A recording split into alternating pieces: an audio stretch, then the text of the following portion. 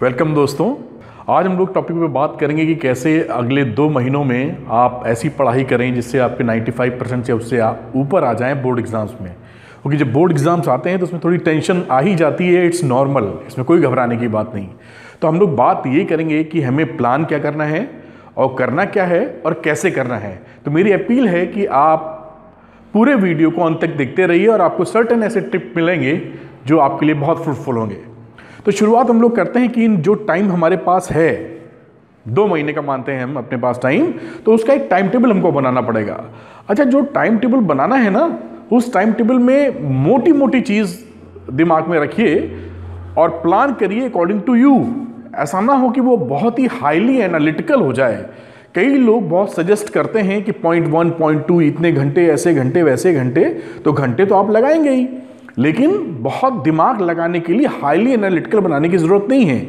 ये ध्यान रखें कि टाइम टेबल में जो मॉर्निंग का टाइम होता है, जब भी आप अगर अर्ली राइजर्स हैं, पाँच बजे उठते हैं छः बजे उठते हैं, या एग्ज़ाम टाइम में लेट नाइट स्टडी कर रहे हैं, सुबह नौ बजे उठ रहे हैं तो जब भी अर्ली जो टाइम है आपका, वो लगना चाहिए उन सब्जेक्ट्स को जहाँ पे याद करना है आपको। याद करने वाले सब्जेक्ट हम साइंस सब्जेक्ट्स की बात करें तो केमिस्ट्री बायोलॉजी इन सब्जेक्ट्स को आप पिकअप करें जहाँ पे ज़्यादा याद करने की बातें होती हैं। तो आप याद करने का काम सुबह का रखें, उसके बाद थोड़ा सा रेस्ट कर लें और दिन में या रात में फिजिक्स एंड मैथमेटिक्स पढ़ें, जहाँ आपका दिमाग काफ़ी प्रोसेस में आता है प्रैक्टिस चाहिए होती है ज़्यादा। तो इस तरीके से टाइम टेबल आप बना सकते हैं, लेकिन ध्यान रखिएगा, बहुत एनालिटिकल करने की ज़रूरत नहीं है कि मुझे ये एक घंटा पढ़ना, डेढ़ घंटा पढ़ना, आप डिसाइड कर लीजिए कि दो घंटे देने हैं तो दो घंटे में आपको टॉपिक क्या पढ़ना है, ये प्लानिंग में आपके आना चाहिए। बहुत विशेष उसके ऊपर ज़्यादा दिमाग लगाने की ज़रूरत नहीं होनी चाहिए। और टाइम टेबल ऐसा होना चाहिए कि आपका जो कोर्स है वो ऐसा फिनिश हो जाए, एक महीने, सवा महीने में आप कर ले जाएँ, उसके बाद आपको रिवीजन का मौका मिले। क्योंकि अगर आप रिवाइज नहीं कर पाए, सारी चीज़ पिक्चर तो अच्छी बनाई, लेकिन एंड अगर गड़बड़ हो गया तो पिक्चर फ्लॉप होने वाली है, क्योंकि पढ़े सब हैं। मैच अच्छा खेला फुटबॉल का, लेकिन गोल ही नहीं कर पाए। जब गोल नहीं कर पाए तो रिज़ल्ट तो फिर हमारे हक में नहीं आएगा। तो रिवीजन का टाइम ज़रूर अपने हाथ में रहना चाहिए। तो ऐसा आप करें। अच्छा आप दूसरी बात करते हैं कि इसके अंदर हमें करना क्या होगा। देखिए, बहुत ही शुरुआती दौर में आप पूरा कॉन्फिडेंस रखें अपने ऊपर कि आप बिल्कुल कर लेंगे। कहीं से ऐसी सोच ही ना रखें कि ये नहीं हो सकता, ये हो सकता ये हो गया है। उसको इमेजिन करें आप। और एक बात मैं आपको बताऊँ कि जो स्टूडेंट्स थोड़े से घबरा रहे हैं या जो आपके साथ हैं, कहते बड़ा मुश्किल है, बड़ा मुश्किल है, थोड़ा सा उनको समझाएँ, वरना अपने आप में रहें, उनके साथ ज़्यादा ना रहें, क्योंकि जो एटमॉस्फेयर रहता है, उसका 45 परसेंट हमारा, हमारे दिमाग के ऊपर असर रहता है। अगर आप चार बार आपके दोस्त ही बोलेंगे, बड़ा मुश्किल है, बड़ा मुश्किल है हार्ड टॉपिक है, नहीं हो पाएगा तो आप 45 परसेंट उससे इंपैक्ट खा सकते हैं। तो आप उनकी मदद करें, आप उनको बोलें, हो सकता है, हो सकता है। हो सकता है। फिर भी वो बोले, नहीं हो सकता है। तो आप कहते, ठीक है थोड़ा सा मुझे अब करना है अपना काम। तो अपना पूरा विश्वास रखें you can do it you will do it पक्का है ये, आप कर ही लेंगे। अच्छा दूसरी एक बात कि हम इसको करेंगे कैसे? केवल सोचने से तो होने वाला है नहीं। टाइम टेबल बना लिया आपने कि ठीक है, मुझे दिन में छः घंटे पढ़ने हैं, सात घंटे पढ़ने एग्ज़ाम टाइम में नौ घंटे पढ़ने हैं, दस घंटे पढ़ने हैं। और एक बात और ध्यान रखिए टाइम टेबल के समय कि टाइम टेबल इतना हार्ड नहीं होना चाहिए कि आप शुरुआत में ही थक जाएँ।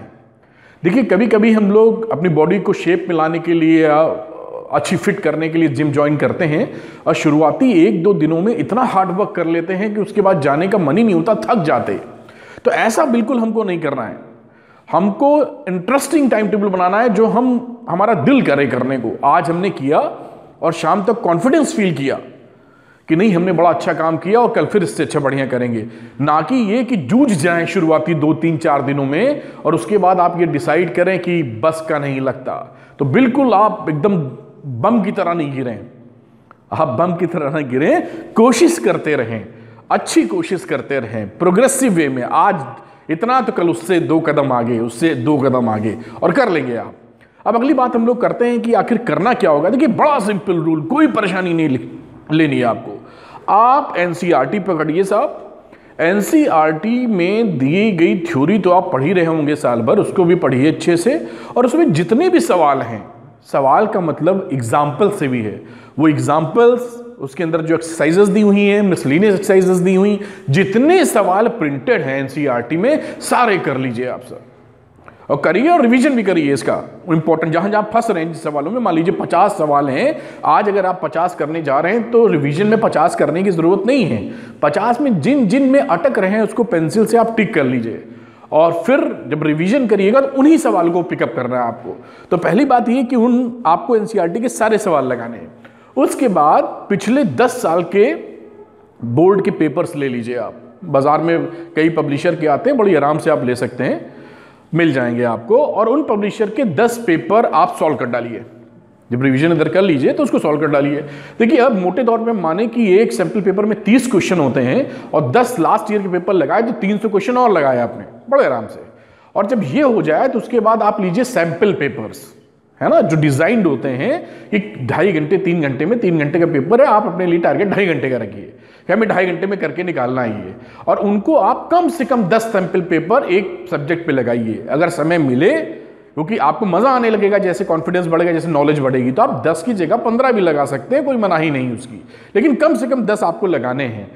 तो ये बड़ा बाकी कोई परेशान होने की ज़रूरत नहीं है आपको। बिल्कुल एनसीईआरटी पकड़ के चलिए, सारे क्वेश्चन एनसीईआरटी के लगाइए, पिछले दस साल के पेपर लगाइए, और सैंपल पेपर दस पेपर लगाइए। डिफरेंट डिफरेंट आते, बड़े मज़े से। अच्छा बात ये हो गई कि ये हमें करना है, बड़ा छोटी सी बात हमने बताई कि ऐसे करना है। अब ये जो आप एनसीईआरटी के सवाल लगाएँगे थ्योरी पढ़ेंगे सैंपल पेपर लगाएँगे, इनको करेंगे कैसे साहब? क्या टेक्निक इसमें फॉलो करें जिससे आपका रिज़ल्ट बहुत कमाल का हो? तो देखिए, उसमें आपको करना क्या है कि जो न्यूमेरिकल्स है ना कभी कभी शॉर्ट न्यूमेरिकल्स भी रहते हैं सोल्यूशंस रहते हैं, उनको रीड आउट नहीं करना है। बिल्कुल उनको पढ़ना है और कागज़ पेन लेके करना है करना है। कई बच्चे उसको रीड कर लेते हैं सोल्यूशंस तो रीड करने से आपको नहीं आएगा। मैथमेटिक्स अगर आप रीड आउट कर रहे हैं सोल्यूशंस तो you are fooling yourself don't fool yourself आपको कोई बुद्धू बनाए तो आपको बुरा लगता है और आप खुद को बुद्धू बनाए तो कितना बुरा लगना चाहिए। तो ये बिल्कुल नहीं होना चाहिए। और डेरिवेशंस कई एग्जामिनेशन में बहुत आते हैं बोर्ड में आते हैं काफ़ी तो उन डेरिवेशंस को भी रीड आउट नहीं करना है। कि ये डेरिवेशन दिया हुआ एनर्जी का प्रूफ कर रहे हैं कैपेसिटर का या किसी भी टेंथ क्लास का ट्वेल्थ क्लास का, उसको पेन पेपर लेके ड्राइव करना है। अगर आप डेरिवेशन का प्रैक्टिस करेंगे तो ही एग्ज़ाम में कम समय में सही प्रूफ कर पाएँगे।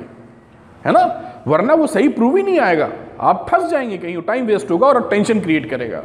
दूसरी बात, जो थ्योरी पढ़ेंगे तो न्यूमेरिकल का एस्पेक्ट हो गया डेरिवेशन का एस्पेक्ट हो गया, बात आती थ्योरी की। तो थ्योरी की जब पढ़ाई करें तो कोरिलेट इमेजिन करके करें।